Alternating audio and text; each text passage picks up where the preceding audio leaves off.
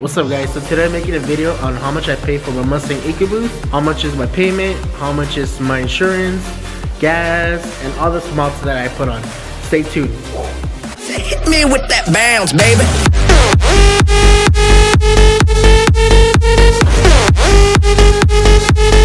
Come on. What up everybody, thank you guys for coming back to my channel, I really appreciate that. Today I'm making a video on how much do I pay for my Mustang EcoBoost.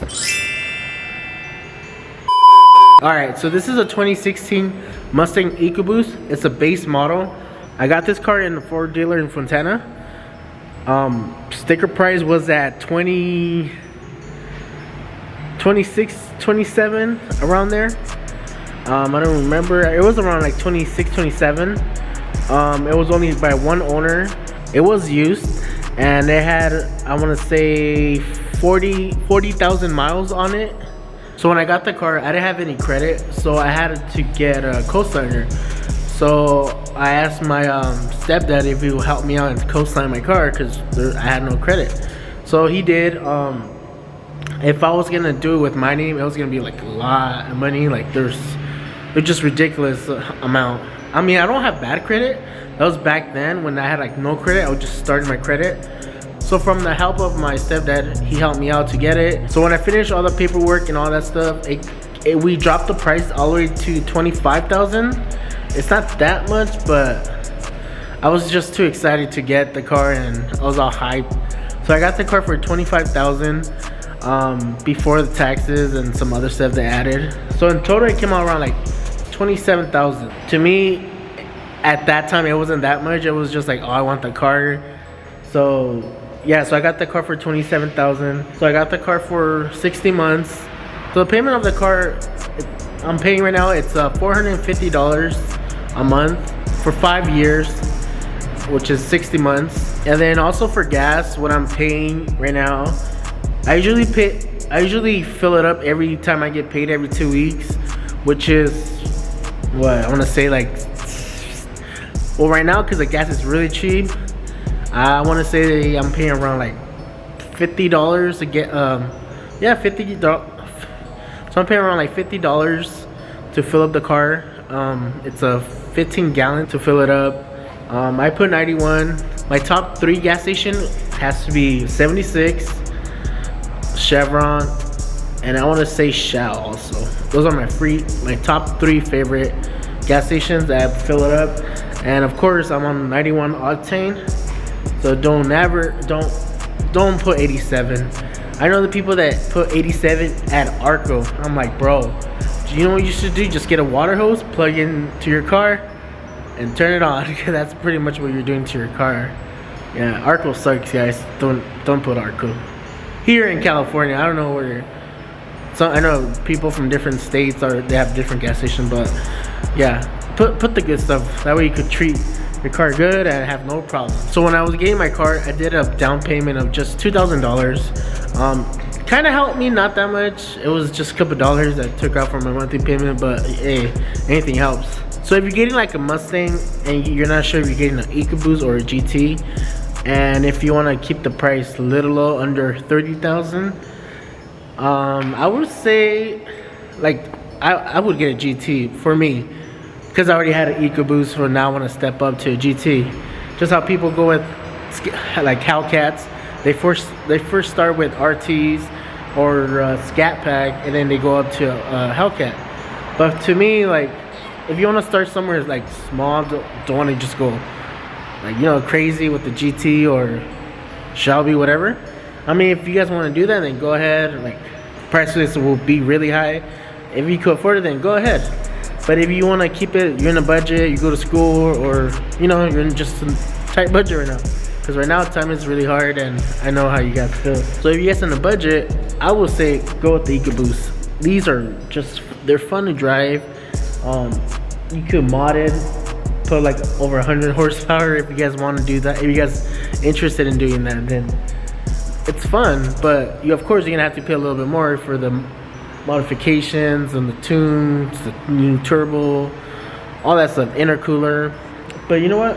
It's fun.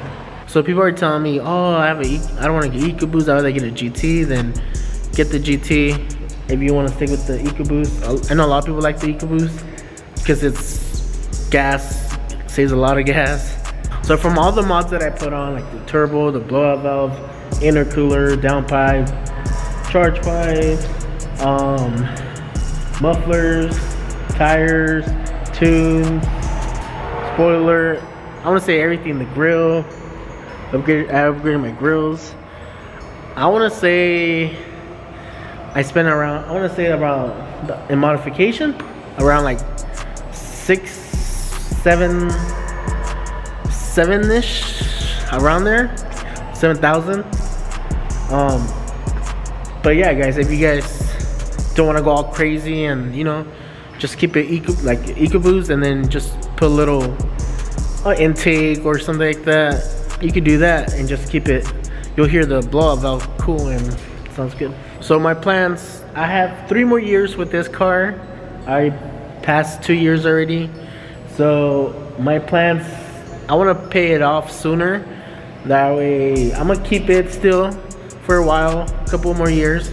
And then I want to upgrade to a GT or, you know, something different. Maybe a GT 500.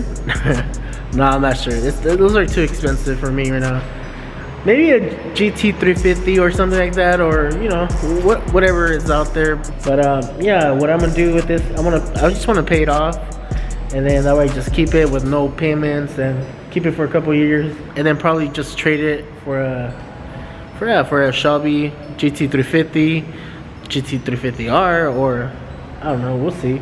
Or Shelby 500.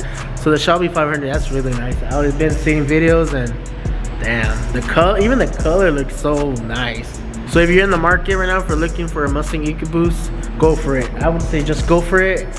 Test drive it first if you want to see how it feels. Step on it. But remember, you won't get the same sound if you take your mufflers off and make it sound nice. But if you just want to have just the EcoBoost like stock, then get it. It's fun. I'm telling you guys, it's fun to drive. Alright guys, so you made it at the end of this video. I just want to thank you guys so much. I really appreciate that.